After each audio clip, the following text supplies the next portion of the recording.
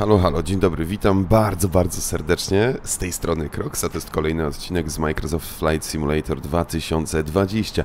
Bardzo, bardzo Wam dziękuję za całe zainteresowanie moim kanałem, bardzo Wam dziękuję za wszystkie wyświetlenia pod e, filmami.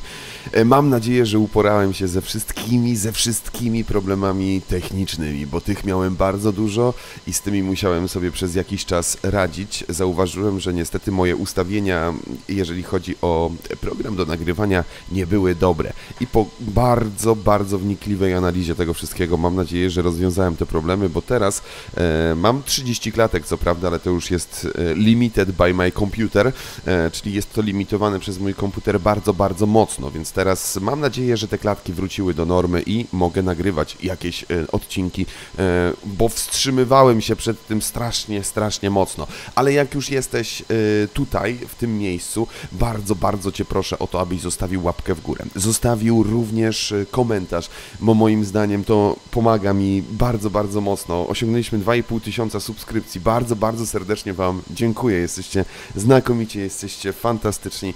Mm, Nie wiem, jak Wam dziękować, bo to jest takie, wiecie, dla mnie e, jaram się, jaram się tym, bardzo mocno jaram się tym, bo ten kanał bez niczyjej pomocy był budowany od zera i to jest e, mega fajna rzecz. Ale nie o tym, co chwilę o, o sobie. Jezus Maria. Moi drodzy, jak widzicie, lecę sobie e, Airbusem A320 em, NIO. To jest oczywiście samolot od e, grupy moderskiej Fly-by-Wire. No i powiem Wam szczerze, że jaram się. Jaram się, bo ten samolot jest coraz lepiej zrobiony.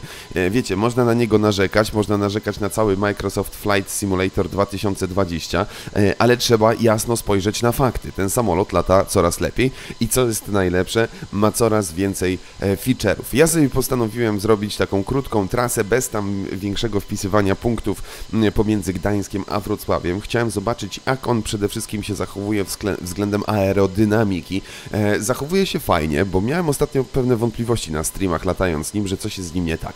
Ale dobrze, to też nie o aerodynamice i też e, nie konkretnie o systemie i procesie latania Airbusem A320 neo od Fly-by-Wire. Moi drodzy, witam Was bardzo serdecznie już teraz z kokpitu. Dlaczego jesteśmy w kokpicie? Tak jak zapowiedziałem w tytule tego odcinka, drukarka, moi drodzy, drukarka. Tutaj w Airbusie A320 NEO jest drukarka. Mm, Nie wiem, czy pamiętacie, jak lataliśmy sobie mm, Airbusem A330 e, w Preparedzie. Były takie momenty, że tam sobie polatałem chwileczkę w Preparedzie A330. No i tam taka drukareczka była i tam rzeczywiście ona działała.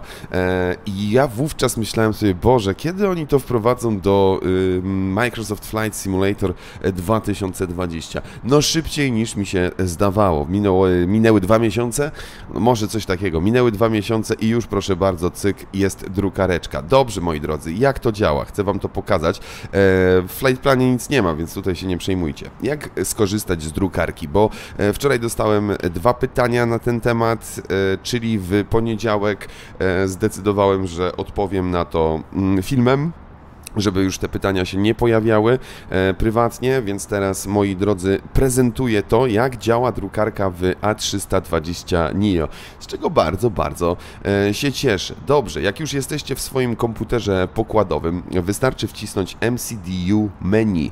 E, tak, to tutaj również łączyliśmy samolot z mm, Simbriefem, także to jest bardzo ważne menu z perspektywy tego samolotu się okazuje, więc e, wchodzimy sobie w MCDU menu, Następnie wchodzimy sobie w ATSU, następnie AOC menu i przechodzimy do znanego nam chyba panelu. Nie wiem, czy tutaj byliśmy e, we wcześniejszych odcinkach, ale mam wrażenie, że tak. E, No i dobrze, moi drodzy, tutaj mamy kilka przycisków. Przede wszystkim nas interesuje WX Request.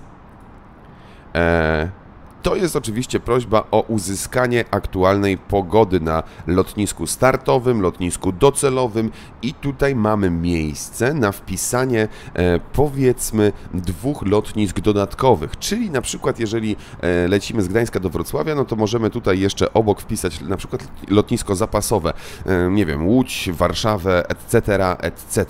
Mm, Pamiętajcie, że tutaj w WX Type macie również zmianę, czyli e, możecie wybrać TAF, Co to jest TAF? To jest e, bodajże, tutaj ja nie jestem ekspertem, nie jestem pilotem, ale wydaje mi się, że jest to e, fachowo rzecz ujmując pogoda długoterminowa, czyli co będzie następowało w kolejnych godzinach, jeżeli chodzi o lotniskową pogodę, tak? My sobie najpierw wybierzemy metar, taki stricte aktualny, godzinny metar. Moi drodzy, możecie sobie również jeszcze wejść w MCDU menu, wybrać opcję, następnie wejść w AOC i wybrać skąd und mielibyście wziąć sobie ten metar. Jak widzicie, jest kilka, kilka opcji. IWAO to jest oczywiście sieć konkurencyjna dla Watsimu mm, i tam jest pogoda również brana, że tak powiem, na lotniska, kontrolerzy z niej korzystają. Ja wybrałem sobie Watsim, bo wydaje mi się, że pogoda watsimowska jest najbardziej aktualna. Mogę się mylić, proszę mnie wyprowadzić z błędów w komentarzach, ale mam nadzieję, że, że, że nie mylę się, bo wydaje mi się, że właśnie, właśnie e, Watsim jest e, najaktualniejszy, e, ale z drugiej strony, żeby żeby było też realistycznie, bo możemy wybrać sobie oczywiście tutaj pogodę na żywo. Teraz nam się e, cała e, atmosfera tutaj zmieni, mam nadzieję. Jak widzicie, troszeczkę nami wachnęło e, i pojawiło się bardzo dużo ziarnistych chmurek, więc żeby tak było, możemy wybrać Meteo Blue. Wtedy będziemy mieli pogodę bezpośrednio z silnika pogodowego MFS-a. Dobrze, ale nie o tym. Wracamy, moi drodzy, do ATSU, wracamy do AOK menu, wracamy do WX, WX Request. Następnie mamy EPGD, EPWR, czyli dwa lotniska bardzo ważne w naszej trasie i możemy na przykład wpisać EPLL. Czemu by nie? Wpisujemy sobie i wysyłamy. I teraz bardzo bacznie obserwujcie ten monitor. I jak widzicie, pojawiło się coś, coś takiego jak company message. To oznacza, że został nam przysłany mm, aktualny metar obowiązujący na tych trzech lotniskach, które mieliśmy tam wpisane. Mm, wchodzimy w Received Message, w tym samym menu, w którym prosiliśmy o pogodę, Received Message i na samej górze, ja tutaj już kilka miałem, że tak powiem, odpalonych.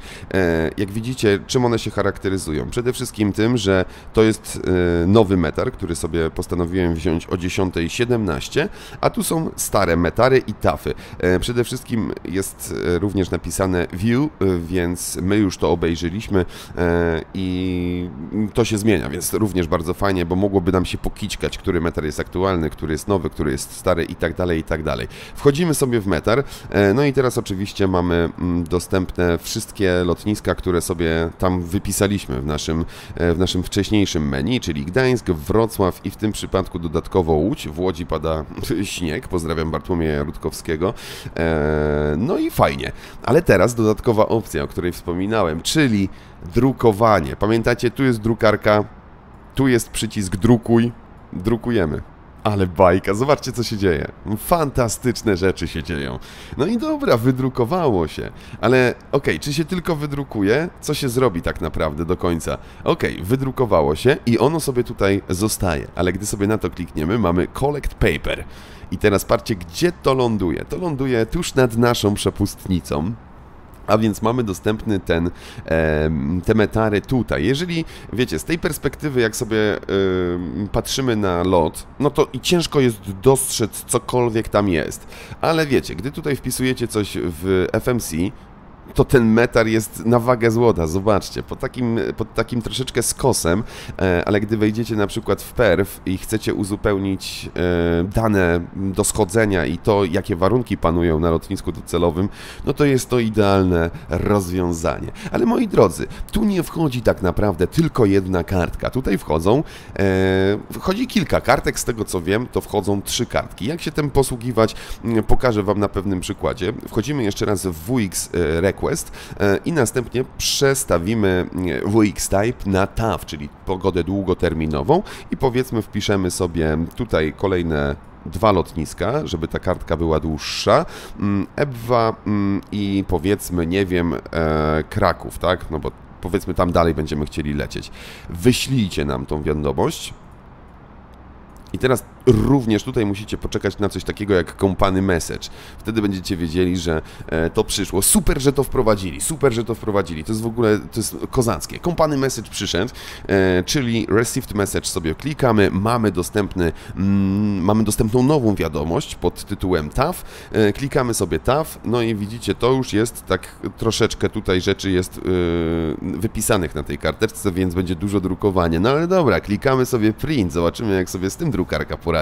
I idzie nasza kartka. Zobaczmy jaka będzie długa. No nie jest jakaś tam masakrycznie długa, ale się wydrukowała. Dobrze, robimy collect paper mm, i teraz jak widzicie, e, Tutaj TAW zamienił nam się miejscami z metarem.